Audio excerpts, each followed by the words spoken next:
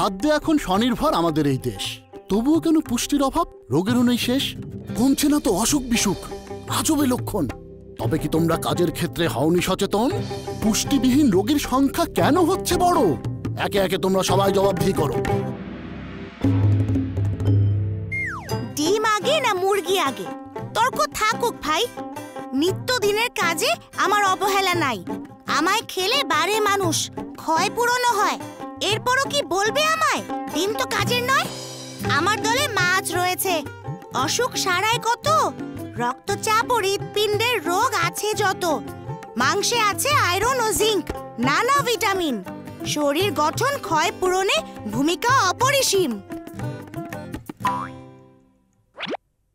শরীরে যোগায় শক্তি এবং বজায় রাখি তাপ। সুস্থ থাকা সহজ, জানলে সঠিক মাপ। শরীর মাঝে প্রবেশ করে দেখায় আমার খেল। ভালো রাখি, সবল রাখি, নামটি আমার তেল। আগা গোড়া সবই তো খায়, বৈরাগী হয় লোকে।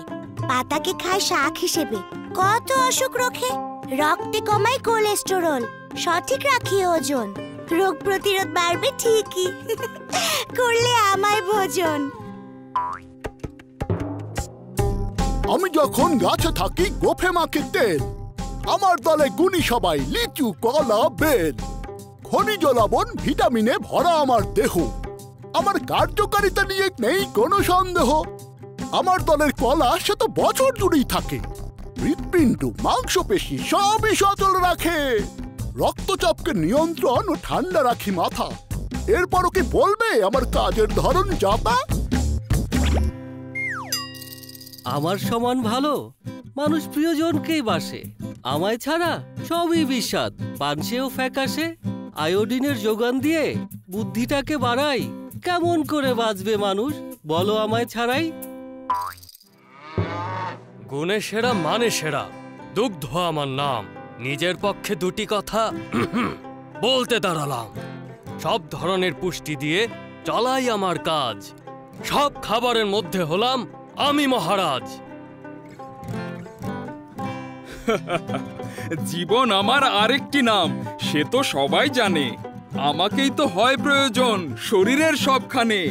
বিশুদ্ধ হলে আমার কাজটি যোগ্য বলেই মানি। সকল রোগের সেরা ঔষধ নামটি হলো পানি। হুম সবারই কাজ চলছে সঠিক নেই তো ফাঁকিবাজি। সমস্যাটা কোথায় তবে? চাই সমাধান আছি সম্মিলিত এই প্রচেষ্টা না যায় যেন জলে। চলুন দেখি এ সম্পর্কে বার্টান কি বলে। পুষ্টি বিশেষজ্ঞরা মোট ক্যালোরির পঞ্চান্ন থেকে ষাট ভাগ দানাদার খাদ্য গ্রহণের পরামর্শ দেন। কিন্তু এখনও বেশিরভাগ মানুষ সত্তর শতাংশ বা তার চেয়েও বেশি খাদ্যশক্তি ভাত ও রুটি জাতীয় খাদ্য থেকে গ্রহণ করে। এছাড়া অনেকেই অপুষ্টিকর খাবার গ্রহণ করে ক্ষুধা মিটিয়ে থাকে, যার ফলে বাড়ছে স্থূলতা। তাই মানুষের সুষম খাদ্যাভ্যাস গড়ে না ওঠার কারণে পর্যাপ্ত পুষ্টিকর খাবার ফলনের পরেও শতভাগ পুষ্টিহীনতা দূরীকরণ সম্ভব হচ্ছে না। প্রশ্ন হলো তবে এই সমস্যা সমাধানে আর কি করতে হবে? একা আমরা কেউ পারব না দিতে সমাধান। সুষমভাবে দিতে হবে সকল পুষ্টির যোগান। পুষ্টি প্লেট অনুযায়ী মানুষ খেলে খাবার অসুখ বিসুখ যাবেই কমে দেশটা হাসবে আবার।